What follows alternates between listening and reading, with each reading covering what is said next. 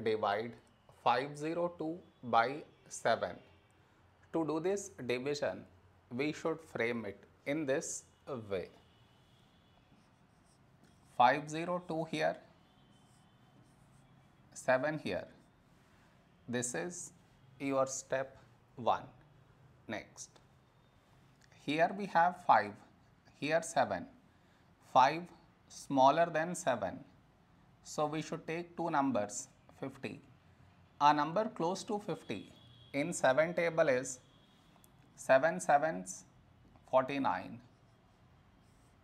Now we should subtract, we get 1.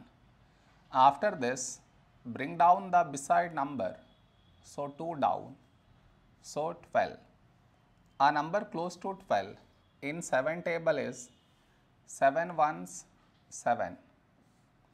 Now we subtract, we get 5.